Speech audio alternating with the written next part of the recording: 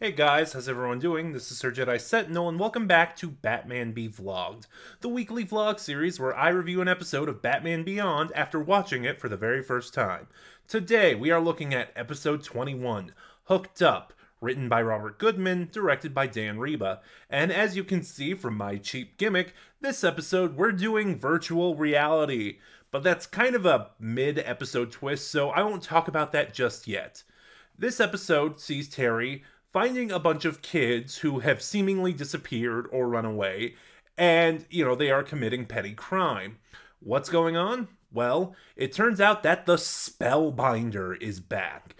And he is basically using this new VR this new VR um technology to um increase kids serotonin levels, you know, and leave them in feeling this extreme sense of pleasure to the point where they're taken out of the VR, th- they suffer withdrawals. You know, essentially, he is dr- drugging kids.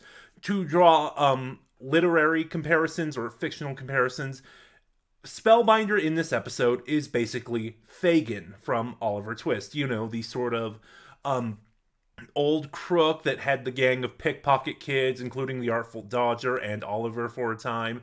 That is what he's doing in this episode. And the Spellbinder is the best part of this episode. In fact, he's also what makes this episode so disturbing. So, a little bit of a personal thing about me. When it comes to fiction, I have a thing about um, kids being portrayed in fiction. And what I mean by that is specifically kids being endangered, kids being killed. It's something that sets me on edge in the worst possible way. It's something that makes me really uncomfortable. Like when I sit down to watch a horror movie or something, um like the grotesque monsters or the extreme gore mostly don't have an effect on me it sometimes it does. Like i well i said extreme gore. That was a bad example because i cannot do extreme gore. But like it's not like the grotesque monsters or spooky imagery that freak me out. It's real world situations when they're portrayed in fiction and when they're portrayed well that really freak me out. And just spellbinder manipulating and essentially drugging these kids oh, it, it was spine chilling. And Spellbinder's voice actor, once again, is just really good. Like, I don't think he yells or raises his voice in this episode at, at all. And that calm demeanor, that calm, almost monotonous demeanor, is so off putting. It's so on edge. I'm already regretting doing this because I keep hitting things. Um, anyway, there are other things in this episode as well. Um, you know, we're finally following up a little bit more on the Max plotline. Remember, Max is a classmate of Terry's. She figured out he is Batman. And despite how that episode progressed, now she wants a piece of the action. She wants to jump out in the field and help Max with his duties. Essentially, she wants to be a Robin. You know, that's not what happens, it's just the best comparison I could make. She wants to be a Robin. And Terry is against this. He does not want to endanger her. Something with which, for once, Bruce agrees. You know, after years of being Batman and all his time with the Bat family, he recognizes there are risks to it, and he's trying to warn Terry about what will happen should she get involved. Which is ultimately what happens. She finds herself a victim of the Spellbinder.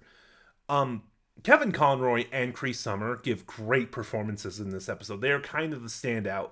You know, we have Kevin Conroy as Bruce Wayne, um, sort of talking about what happened and why Terry taking on bringing someone else into the fold was a bad idea.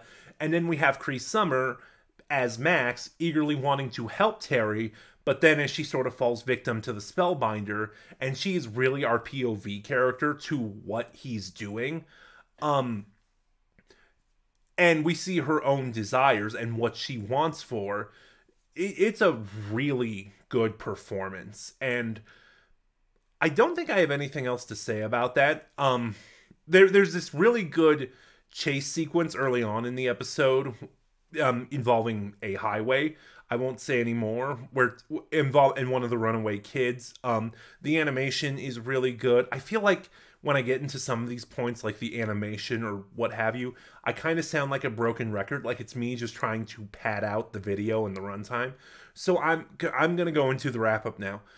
Hooked Up is a really disturbing episode, and I mean that in the best way possible. It leaves you on edge. You get this really chilling appearance from the Spellbinder and some standout performances for from Cree Summer and Kevin Conroy in particular, but all around the performances in this episode are really good. And also, it doesn't, you know, like going back to this, because like I said, what the Spellbinder is doing is a very, very obvious um drug an analogy. I totally forgot the name of that for a minute but it's doing so in a way that's played realistically or it's played in effect or it's played effectively not in the same way that like golem tackled anti-bullying or the way the winning edge tackled drug use but those are just my thoughts on Hooked Up. Have you seen it yet? What are yours? Start a conversation in the comments below. And remember to like, comment, subscribe, and click the bell next to subscribe to get notifications when I upload and in the description box below, you'll find the link to my Twitter where you can follow me and get updates on the channel for the time being. This is Sir Jedi Sentinel, and I'll see you guys next week for episode 22.